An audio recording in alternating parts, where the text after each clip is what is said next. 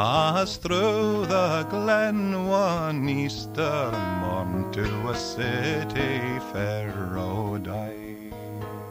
There were mad lines of marching men in squadrons passed me by. No fife did hum, no battle drum did sound out its wild tattoo. But the Angelus bell of the Liffey swell rang out in the foggy dew. It was England bad that our wild geese go, that small nations might be free. And the lonely graves are by Suvla's gate in the fringes of the great North Sea.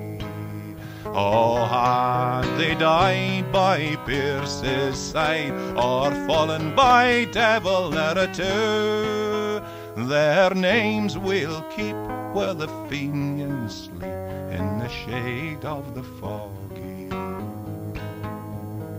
Right proudly high over Dublin town we hung out the flag of war.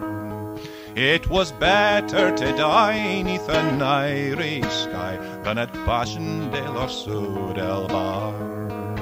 And from the plains of royal Meath, strong men came hurrying through, while Britannia's Huns with their long range guns sailed into the foggy dew. But the bravest fell, and the requiem bell rung mournfully and clear. For the men who died that Easter tide in the springtime of the year. And the world did gaze with sweet amaze at these few men and true. Oh, bravery fled, oh, rebel fell neath the foggy dew. As through the glen I rode again, and my heart with grief was sore. For the men who died that Easter tide I never would.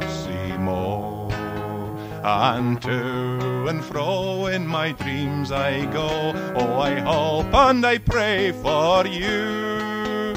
Oh, rebel dead, oh, bravery fled when you fell neath the foggy dew.